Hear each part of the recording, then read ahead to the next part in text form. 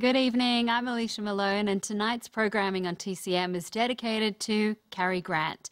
He passed away on November 29, 1986. That's yesterday, 35 years ago, leaving behind the indelible image of a suave, elegant, handsome gentleman of a movie star. It's near impossible to sum up the influence he's had on cinema with a huge variety of performances over four decades, many of which have since become iconic. He never won a competitive Oscar, but was twice nominated and received an honorary Oscar for his career. As screenwriter Peter Stone said in his Oscar acceptance speech for our next movie, my deepest thanks to Cary Grant, who keeps winning these things for other people. The film is Father Goose from 1964, directed by Ralph Nelson.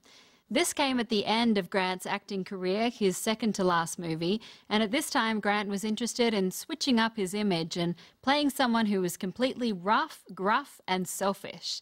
His character is Walter, an alcoholic loner who is roped into helping the Australian Navy during World War II. Walter is placed on an island as a lookout for enemy planes, but finds himself with more company than he wanted when he's forced to rescue a teacher and some students. For the role of the teacher, Grant had wanted Audrey Hepburn, but the part went to his next choice, Leslie Caron, and they're great together.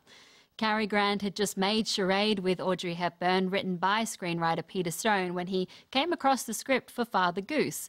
The screenplay had been written by Frank Tarloff, based on a story by S.H. Barnett, and Grant took this script to Stone, who reportedly told Grant if he committed to this character, a drunk, disgusting, irascible, misanthropic curmudgeon, I'd do the picture.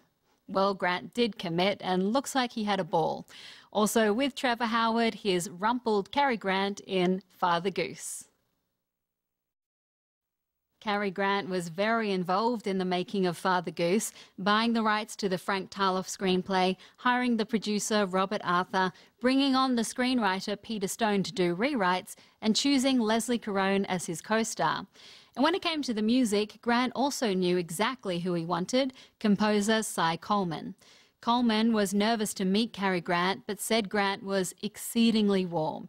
He told me he knew every song I had written, Coleman said, and then sang them to me. I was dumbfounded. I left there about five feet off the ground.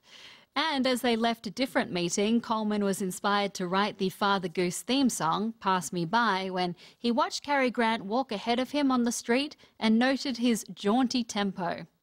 And we have plenty more Cary Grant for you on TCM tonight. I'll be back after this quick break to introduce one of his most romantic movies, a 1957 remake of Love Affair, also starring Deborah Kerr.